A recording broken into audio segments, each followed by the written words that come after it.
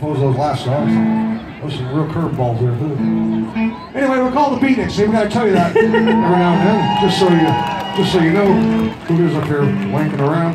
We got a website called thebeatniks.com. Oddly enough, I'd like to thank our friend Larry Mason.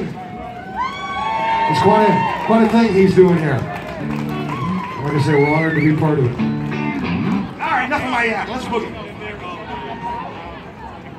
Mm-hmm.